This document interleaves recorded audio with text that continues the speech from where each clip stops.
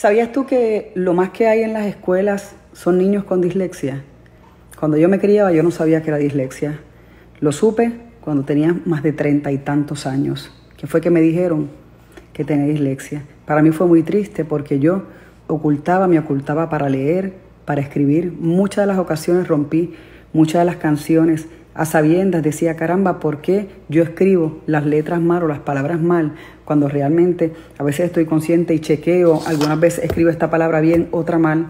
Miren, lo importante es seguir echando hacia adelante, que nos bailen las letras cuando leemos, ok, que no nos podamos concentrar cuando leemos un libro, ok, saben una cosa, pero no tiene que ver absolutamente nada con la inteligencia, simplemente es con el procesamiento de las letras y el escribir que nos da dificultad. A la final, yo sigo orgullosa porque soy disléxica. Si tú lo eres, vamos a celebrarlo, a vivir la vida con amor.